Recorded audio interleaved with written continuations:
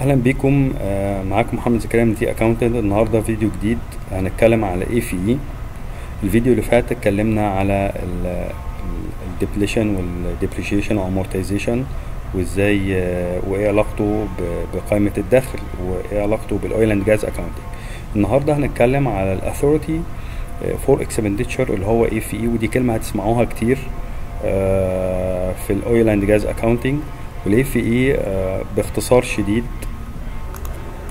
هو آه، عبارة عن آه، موافقة مبدئية على تكلفة آه، المشروع اللي, هن اللي هندفع فيه أو estimated of cost للمشروع دوت. وال AFE دوت بيجي عبارة عن زي ورقة بت- بتوافق عليها ال management بال breakdown إيه الحاجات اللي هنصرفها على المشروع دوت سواء هنحفر سواء هنعمل facility سواء هنعمل workover للبير دوت.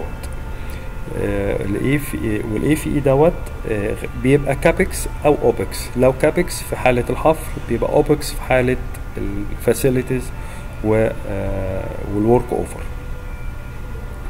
workover ال AFE من الحاجات المتعارف عليها في ال oil and gas وبيبقى خارج أو في نطاق ال budget.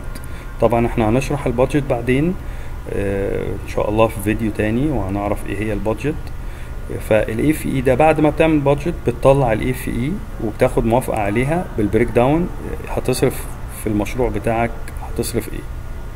و- وبكده يبقى آه، انتهينا من الفيديو دوت. وإن شاء الله نشوفكم في فيديو جديد. آه، السلام عليكم ورحمة الله.